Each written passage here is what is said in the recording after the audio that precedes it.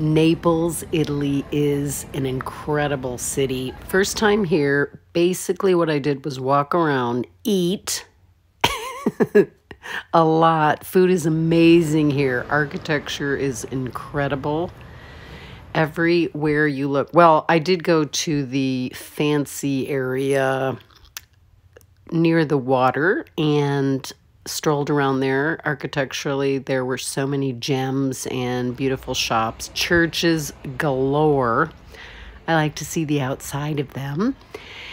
And sometimes i peek inside to see what's going on indoors. Usually they're very dark so i don't always do that. But a cacophony of incredibly old churches and then of course the architecture. This is the embassy and beautiful building, of course. And uh, yeah, pretty chaotic city, ambulances, noise. But I wanted to give you a little snack, a little slice of life in Naples by showing the beauty of it and just people walking on the street enjoying their day and what they look like. That was fun. Um, I was rather overwhelmed by Naples, and then I thought I'm going to just enjoy it for what it is, and started photographing people and strolling around, enjoying my time. I had a nice apartment there. I'll show it in another video. But if you're going to Naples, you don't have to stay in Naples the whole time. You can go to Procida, take a ferry. There's ferries right. They were walking distance from my apartment right at the port. You can go to Sicily, Sardinia, Procida, Capri.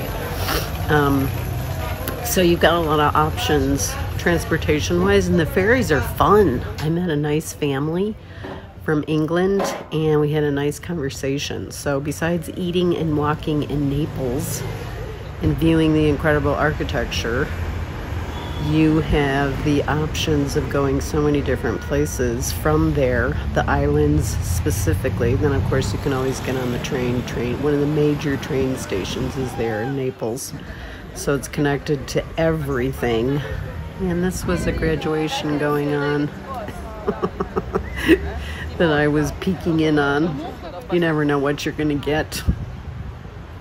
It's fun to just do street photography and see what happens on the street. If you want to join me in 2023, there's information on my website, marybartnikowski.com.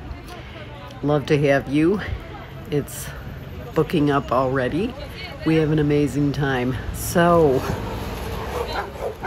this is fun seeing the young ones and back again to the eating. There is such incredible opportunity to get the best food, the best fresh local wine, olive oil, bread, ravioli. This was sea bass in ravioli. Never had that before.